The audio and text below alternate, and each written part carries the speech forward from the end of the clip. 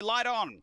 This is the Anniversary Cup final. We're ready here in Adelaide, set at Angle Park.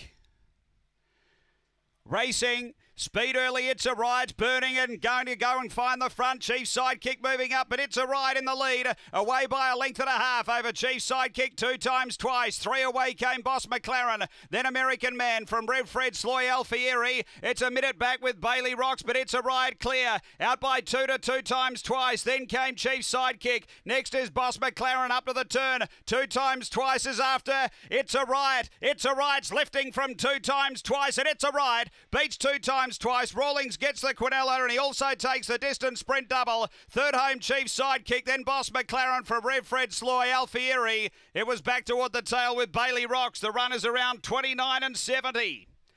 29 77. Big night for Ben Rawlings. 3 2 6 and 8. 3 2 6 and 8. Number three, it's a riot for Ben Rawlings. Has been too good.